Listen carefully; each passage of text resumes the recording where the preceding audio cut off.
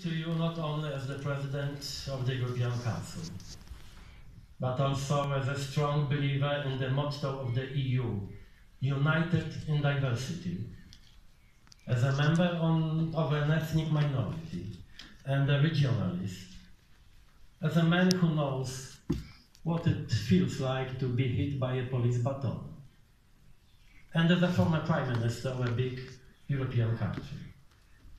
In brief, as someone who understands and feels the arguments and emotions of all sides.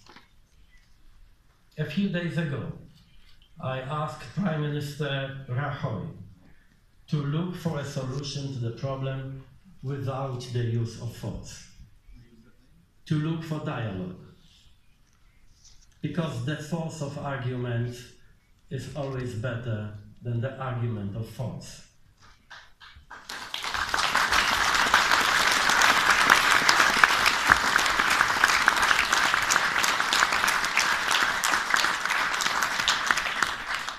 Today, I ask you to respect, in your intentions, the constitutional order and not to announce a decision that would make such a dialogue impossible.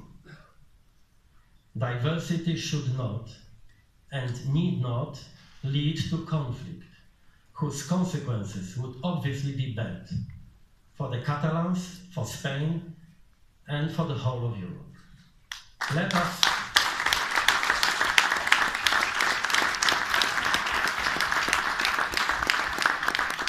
let us always look for what unites us and not for what divides us.